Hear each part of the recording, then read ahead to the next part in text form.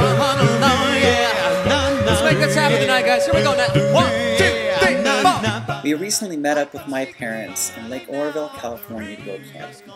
These are stories from the trip. I can see all obstacles in my way.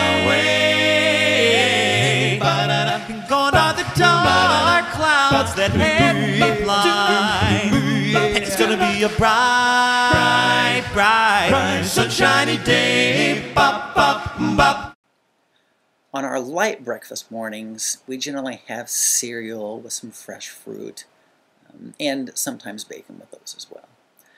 My son was eating raisin bran and he looked down at the bowl and he looked up at us and he said, You know, raisin bran is almost the same as oatmeal, except that there aren't any raisins and you have to smash up all the bran. I can see clear. I can see clear. I can see clear. The rain is gone.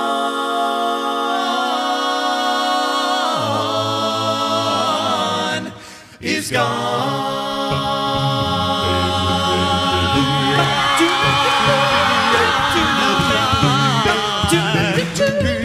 It's gonna be right day. It's